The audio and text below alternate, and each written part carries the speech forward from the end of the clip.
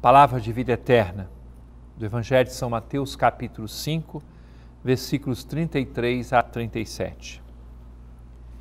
Naquele tempo disse Jesus aos seus discípulos: Vós ouvistes o que foi dito aos antigos: Não jurarás falso, mas cumprirás os teus juramentos feitos ao Senhor. Eu, porém, vos digo: Não jureis de modo algum, nem pelo céu, que é o trono de Deus, nem pela terra, porque é o suporte onde apoia os seus pés, nem por Jerusalém, porque é a cidade do grande rei. Não jures tampouco pela tua cabeça, porque tu não podes tornar branco ou preto um só fio de cabelo. Seja o vosso sim, sim, e o vosso não, não. Tudo que for além disso vem do maligno.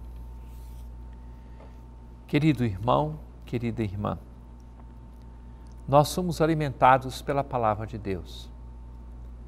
Todas as vezes que nós nos voltamos para esta palavra, temos a certeza de que, como dizemos a cada dia neste programa, ali se encontra uma palavra de vida eterna. A nossa conversa, os nossos discursos, as afirmações que fazemos, precisam brotar de dentro do nosso coração na sinceridade e no compromisso com a verdade. Fazer juramentos, apoiar-se na segurança dada por outras pessoas, não é a recomendação própria do Evangelho. Quando nosso Senhor diz: seja o vosso sim, sim e o vosso não, não.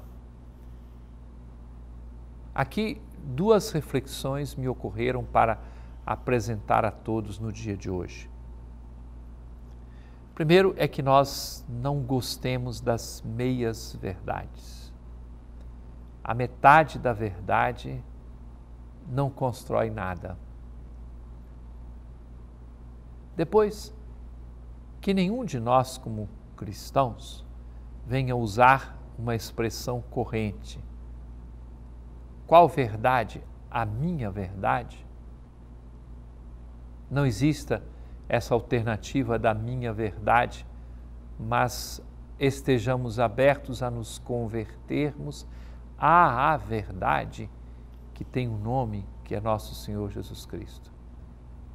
Esta ou este é a verdade, ao qual somos chamados a nos convertermos continuamente.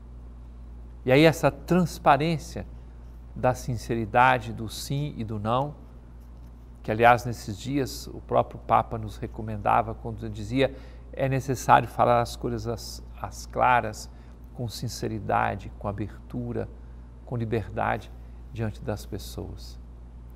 Que o Senhor abra o nosso coração, estejamos de verdade prontos para viver nesta coerência de nossa vida e de nosso compromisso com nosso Senhor Jesus Cristo.